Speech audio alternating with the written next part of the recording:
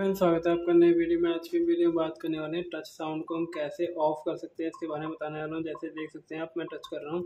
इस पर जो साउंड आ रही है साउंड को हम कैसे ऑफ़ कर सकते हैं, इसके बारे में बताऊँगा। तो चलिए फ्रेंड्स वीडियो को शुरू करते हैं। वीडियो को शुरू करने से पहले अगर आप चैनल पर नए हैं तो चैनल को सब्सक्राइब और वीडियो को लाइक कर दीजिए। फ्रेंड्स जैसे कि आप देख सकते हैं, मेरे पास ये IQ का फ़ोन है और आपको सबसे पहले क्या करना है सेटिंग पर क्लिक करना है। तो क्लिक कर लेंगे फ्रेंड्स सेटिंग पर।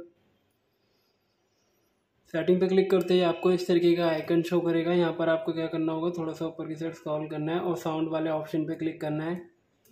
क्लिक करते ही आपको इस तरीके का आइकन शो करेगा। यहाँ पर आपको क्या करना होगा? थोड़ा सा ऊपर की साइड स्क्रॉल करना है और यहाँ पर आपको दिखा रहा है टच साउंड तो टच साउंड को हम यहाँ से ऑफ़ कर लेंगे राइट साइड से और अब आप देख सकते हैं, जैसे कि मैं इस पर क्लिक कर लूँ तो कोई भी साउंड नहीं आ रही है। तो उम्मीद है फ्रेंड्स आपको वीडियो पसंद आएगी। वीडियो पसंद आए तो चैनल को सब्सक्राइब कर वीडियो को लाइक कर दीजिए। मिलते हैं ना एक वीडियो में। तब तक के लिए नमस्कार। अगर आपको कोई भी जानकारी चाहिए हो पीसी से रिलेटेड या फिर फ़ोन से रिलेटेड तो आप हमें कमेंट भी कर सकते हैं। मिलते हैं नेक्स्ट वीडियो में। तब तक के लिए बाय बाय